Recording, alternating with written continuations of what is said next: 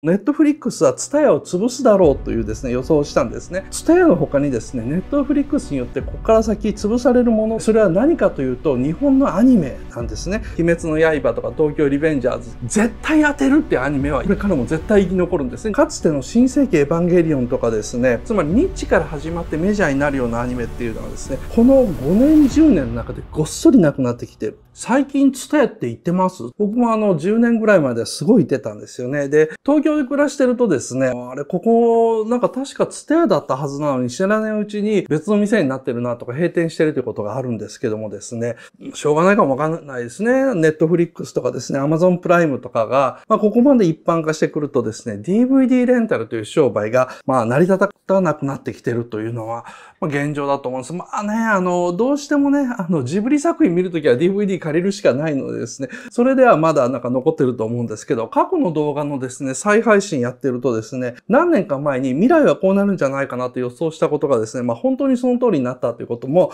まあたまにあります。あの、今日の動画もその一つですね、今から8年前の2015年ですね、日本でのサービスをやっと開始したネットフリックスのですね、未来について話した動画です。この中でですね、ネットフリックスはツタヤを潰すだろうというですね、予想をしたんですね。で、2023年現在の今ですね、割とまあ、その通りの状況というのを申し訳ないんですけど、なってるんですけども、ツタヤを潰すという予想自体はですね、多くの人に見えていたことでもあると思います。ただ今日の動画ではですね、ツタヤの他にですね、ネットフリックスによってここから先潰されるものっていうのを紹介しています。それは何かというと、日本のアニメなんですね。詳しい話はですね、ここから始まる動画で見てください。僕自身が考えている日本のアニメの特殊性っていうのをもう一回おさらいしますね。まず日本のアニメっていうのはですね、ジュブナイル文化。です。ジブナイル文化っていうのは西洋にはない概念なんですね。西洋には子供文化っていうのはあって、次に大人文化っていうのがあると。これがその X レイトとかですね、R15 とかいろんな規制っていうのを映画の中で生んでるんですけども、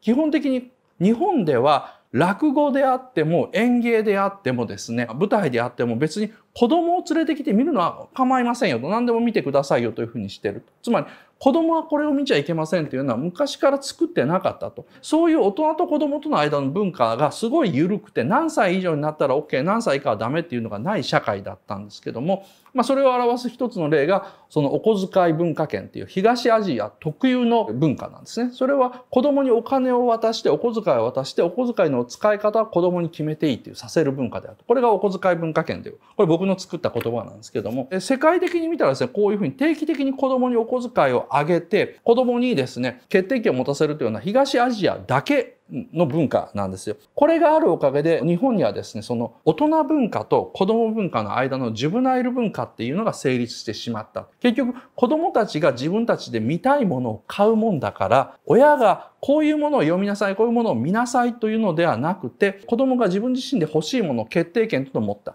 ので、少年ジャンプ、少年サンデー、少年マガジンという少年雑誌にしても少女漫画にしても子供たちが読みたいものを読んでその内容が親はどういうものなのかよく知らないと。でよくよく読んでみたらひどいことが書いてあるぞエロいことが書いてあるぞとかなんかえげつなことが書いてあるぞというふうに後々問題になる。なんで後々問題になるのかっていうと知らなかったからなんですね。つまり親の見てないところでそういうものを見るのが可能だったからだっていう。このジュブナイル文化とお小遣い文化圏というのを持っているのが日本という国の特殊市場東アジアの特殊市場なんですね。子供向けの文化ではなくですね大人も見れるような不思議な中間的な存在としてアニメというのが作られた。で、僕が一番好きな例がアルプスの少女ハイジなんですよ。アルプスの少女ハイジっていうのは、まあ魅了によってはですね、完全に日本人にとっても子供向けアニメに見えるんですね。ところが、アルプスの少女ハイジの中で、ハイジがえー、フランクフルトの街へ、まあ、連れて行かれてしまって、アルムオンジがですね、一人になると。で、アルモンジもともとすっごい人嫌いで、デルフリ村の人とめちゃくちゃ仲が悪かったんですけども、ハイジが連れ去られた後、また恩師は孤独になってしまって、それまで仲が良かったデルフリ村の人と、またあの、喧嘩するようになってしまうと。恩師と村人の対立っていうのがすごく冷たく書かれるんですね。まあ、ここら辺高畑勲さんの演出だから、えげつなくですね、村の人たちの親切なようでいて、徹底的に異物を排除する田舎者根性とですね、アルム恩師のですね、そんなに教養はないように見えるんだけども、実は村を出て戦争に行って帰ってきてるから、実はちょっと蓄積された教養みたいなものはあるっていうのの差をですね、見せることによってですね、頑固な村の人の迷信深さと、ほんの少しだけ文明というのを知ってしまったがゆえに山の上に住まなきゃいけないというですね、インテリとの対立っていうのを書いてるんですね。こんなのですね、そうアメリカとかですね、ヨーロッパの子供向けアニメで絶対書かないような領域にまで日本のアニメっていうのは子供向け番組で踏み込んでしまうというところが、ちょっと日本アニメの特殊なところなんですね。もう一つの特殊性はですね、えー、60年代、70年代安保です。アメリカと手を組んで安全保障条約を結ぶということに対して大反対運動が起こったんですね。で、その結果、学生さんたちがですね、反政府運動をいっぱいした結果、まともな企業に全然就職できなくなって、だって反政府活動というのはですね、同時にファッションにまで至るもんですから、そういう反政府活動をやる人たちは髪の毛は伸ばすわ、まともな服は着ないわ、なんだろ、裸足で下駄履いてるわとか、偉い騒ぎだったんですよね。見てわかる反社会運動だったわけなんですよ。で、結果、普通に就職もできずにですね、そのままドロップアウトと言われたのが、ドロップアウトしてですね、映画会社に、まあ、就職したりですね、したと。結果、日本のですね、映画の底上げがされたわけですね。いわゆるエリートとかですね、現場の人しかいなかったところに大学まで行ったかなりのインテリの人たちが映画業界になだれ入って、次にテレビ業界に入って、アニメ業界に入って、漫画業界に入ったと。なので、本当だったら子供向けのものを作るはずだった日本のアニメとか漫画産業のところにですね、大学のインテリさんのですね、それも思想がかなり入った人。で、当時の思想が入った人だから、ただ単に左翼運動みたいな単純なもんじゃないんですね。その左翼運動がなんで挫折したのかとかですね、なんで安保反対運動はうまくいかなかったのかというふうにぐちゃぐちゃ悩んでる奴らが現場に大量に入ったと。その中のま典型的なのが富野義行さんですね。ガン機動戦士ガンダムなどを作ってる人は、もう本当にその当時の思想というのをどんどんどんどん持ち込んで、え、アニメーションというのを作ったと。こういう政治性が子供向けの文化に入っているところが日本のアニメの特殊なところの二つ目。三つ目はですね、スクリーンクォーター制度が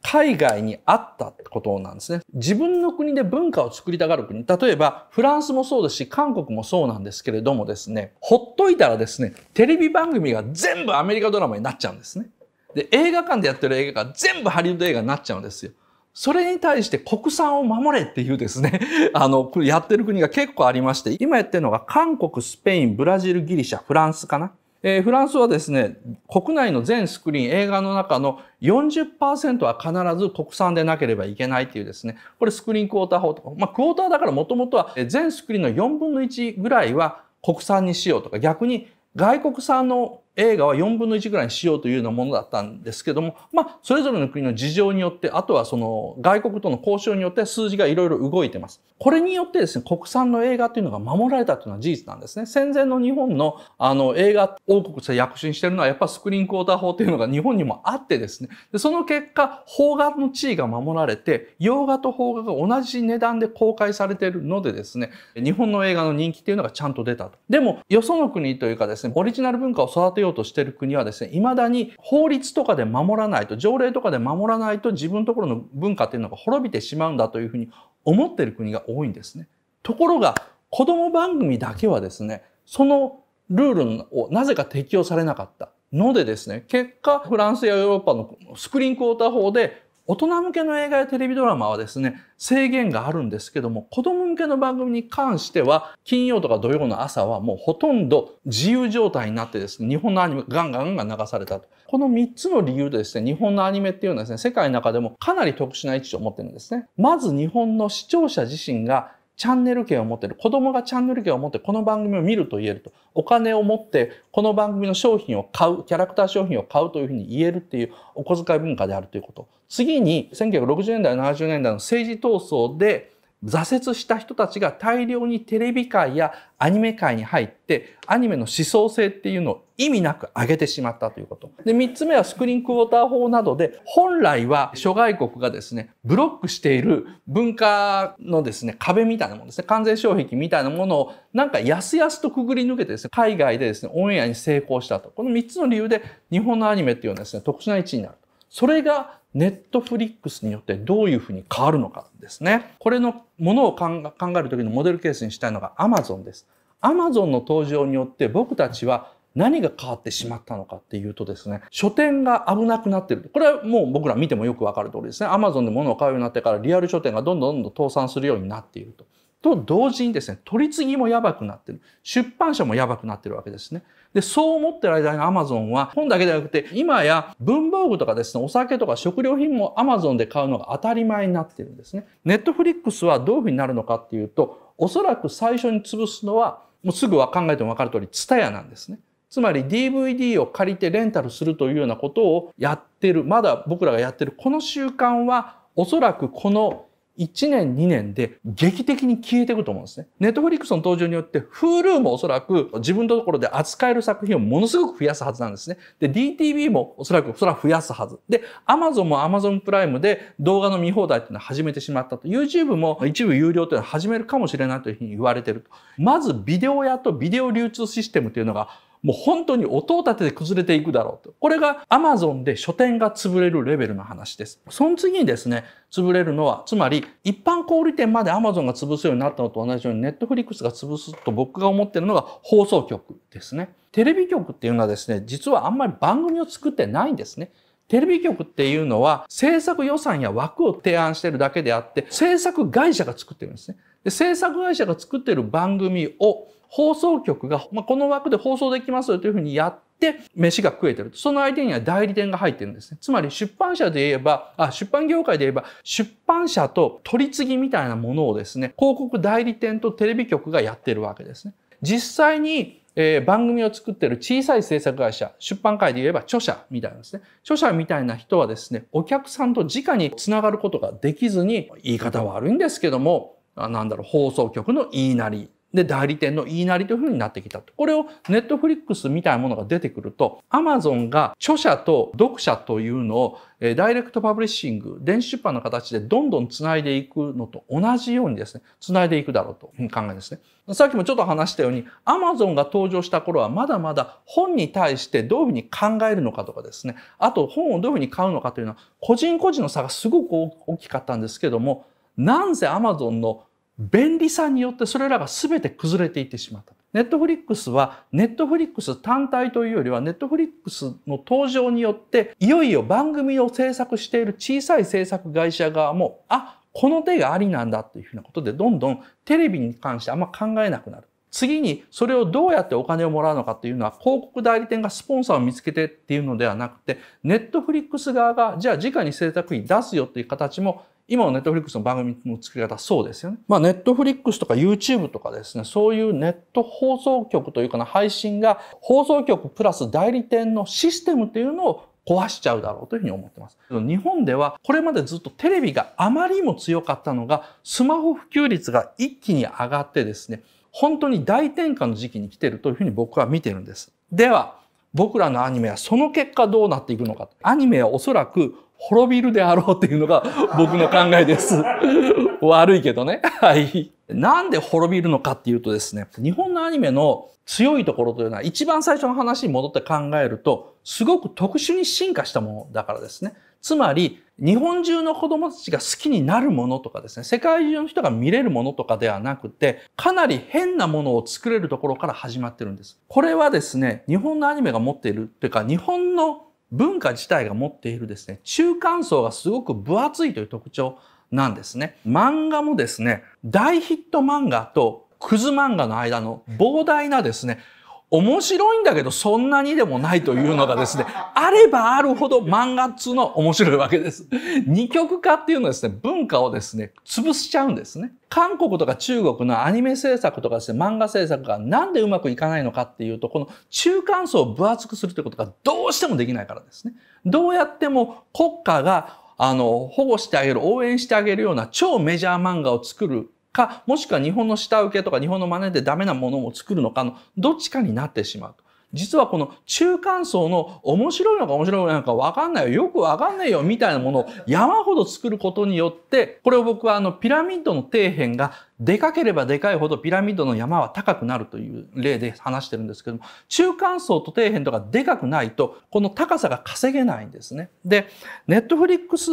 っていうのはですね、そういうものに向いてない、いわゆるグローバリズムであってですね、全世界で見れるものというふうに、どうやっても文化を持っていっちゃうんですね。エヴァンゲリオンもそうですし、古く言えば、例えば超軸要塞マクロスとかですね、まあ最近の例で言えば窓マギみたいなアニメっていうのは実は中間アニメなんですね。ジブリがですね、総力を結集して作ったとかですね、あとフジテレビとあの少年ジャンプがタイあのタイアップして絶対ヒットするゴールデンタイムの7時にオンエアするアニメっていう、こういうのをですね、超対策だとするんであればですね、マクロスやエヴァも窓マギも全て聞いたこともないような放送局があっていたら失礼なんですけども、聞いたこともないような放送局が低予算なんだけども、どさくさに紛れて作ったようなものが大ヒットしてると。そういうのがですね、その日本のアニメの実はその豊かな土壌というのを形成してたわけですね。この中間層的なものがネットフリックスがどんどん伸びてくることによって世界で通用するようなものがいけると。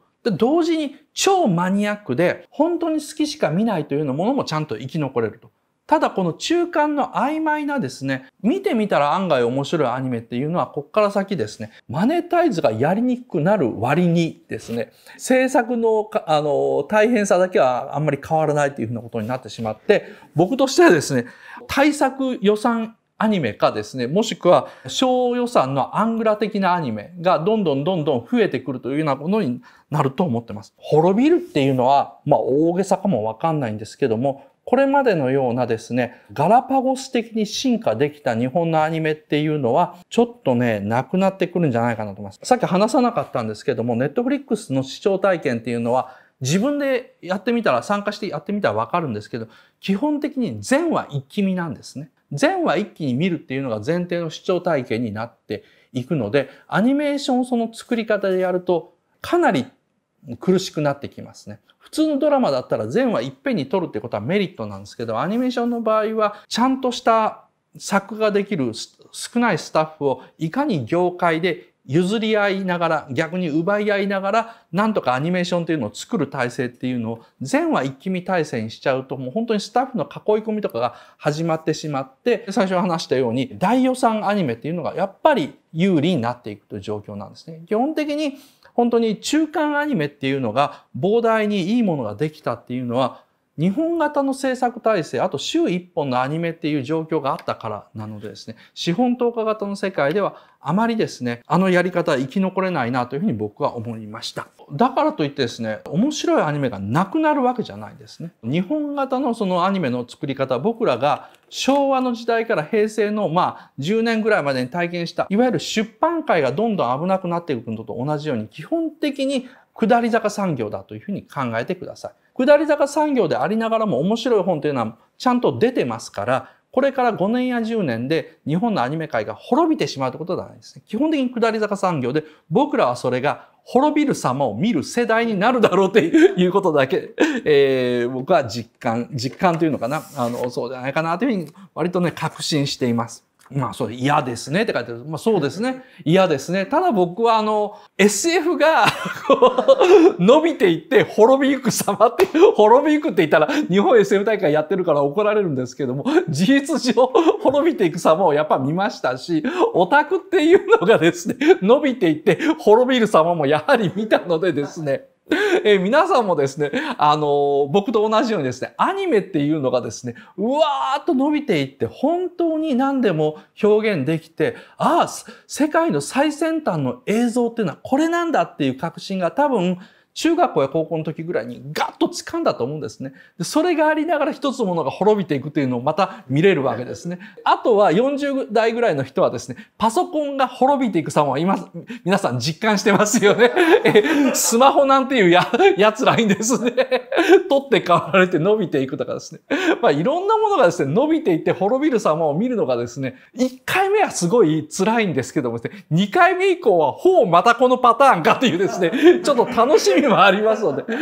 あの、8月にですね、流れたニュースなんですけれども、えディズニー社はですね、オーストラリアとニュージーランドでですね、DVD とブルーレイディスクの販売を終了するというのをですね、報じられました。で、まあ、あの、消費者はですね、在庫のあるですね、ディスクを購入することできるんですけども、スター・ウォーズシリーズやマーベル・スタジオの作品とかですね、アニメの名作を含むディズニーの膨大なライブラリーの新たな出荷はですね、まあ、途絶えることになります。えー、ディズニーですね、であの、もうすでにラテンアメリカですね、南アメリカとですね、あの、まあ、中部アメリカとですね、一部のアジア市場でもですね、DVD とブルーレイディスクの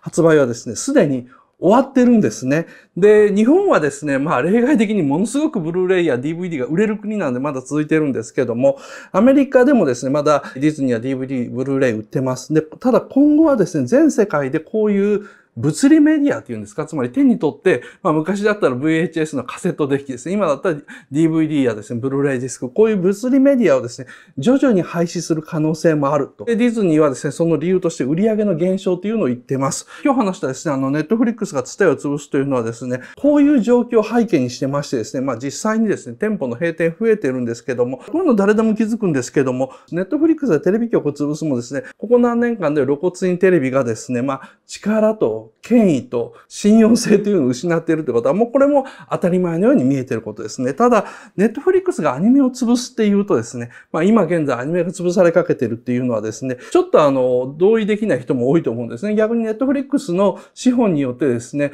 なんかこう世界的なアニメもできてるじゃないかっていうふうに思う人多いと思うんですよ。ここら辺ですね、その、僕自身はですね、かつてその SF という文化に所属していてですね、その文化、かつてあったオタクの概念が崩れ去ったというのをですね、自分自身が体感しているわけですね。自分自身の問題として味あったわけなのでですね、そういうですね、なんだろうな、あの、戦争を生き抜いた 人間の証言として聞いてほしいんですけど、ある文化がですね、潰れる時とかなくなる時っていうのは、大体、あの、共通してるんですね。例えばその、今でもアニメは人気あるんじゃないかとかみんなアニメ見てるんだ。もう世界的に大ヒットどんどん生まれてるっていうのは、これ正しいんですよ。100%正しいんですよ。でも、ここで言うですね、みんなが見てるアニメっていうのは、大予算をかけて作られたtop of top のアニメなんですね。例えば、鬼滅の刃とか東京リベンジャーズですとか、あとまあ、機動戦士ガンダム、水星の魔女なんかもそうなんですけども、新海誠とかジブリもですね、やっぱこれなんですよ。こういうのはですね、これからも絶対生き残るんですね。日本アニメの強みとしてというか、日本のですね、映像の強みとして。で、あとはですね、最初からもう一部のマニアの層に向けられた、こういうのをニッチって言うんですけど、狭い層に向けられて、低予算で作られたマニアックなアニメも、これもまあ、いっぱい作られてるんですよ。ただ、今回の無料動画の中で例に挙げていたですね、かつての新世紀エヴァンゲリオンとかでですね、魔法少女マドカマギカのような立ち位置のですね、アニメですね。つまりニッチから始まってメジャーになるようなアニメっていうのはですね、現在、あの、放映されているアニメの中ではですね、あんま思いつかないんですね。その、絶対当てるってアニメはいっぱい出てきててですね、わかる人に分かってくれればいいってアニメはですね、これからもどんどん生まれてくるんですけども、その中間のアニメ作品っていうのが、この5年、10年の中でごっそりなくなってきてる。ですね。ほんの10年くらい前まではですね、中間層というのが最大のボリュームゾーンだったはずなのに、いつの間にかこの一般大衆というかですね、もうみんなが見るようなアニメとですね、マニアが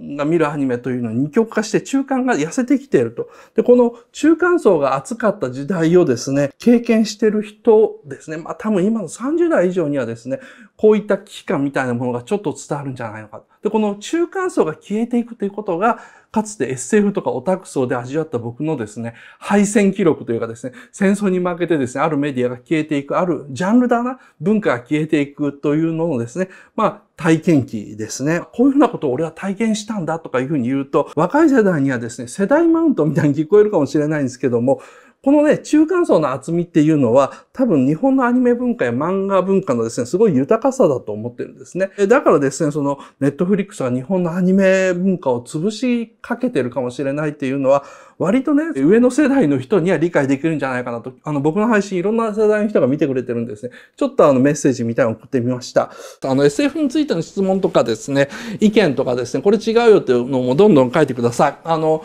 岡田敏夫ゼミっていうのは基本的にゼミが本編だとしたらですね、そのディスカッションの場っていうのはコメント欄みたいなもんなんですね。ぜひともコメント欄を見てですね、参加したりですね、自分で質問を書いたり、あと質問を見た人で答えられる人はですね、ちょっと答えてあげてください。よろしくお願いします。岡田敏夫の YouTube を見てくれてありがとうございます。ぜひぜひチャンネル登録よろしくお願いします。ではではよろしく。